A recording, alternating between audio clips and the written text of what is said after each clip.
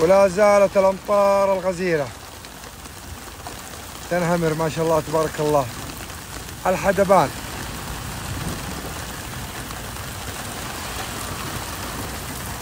مع تساقط البرد.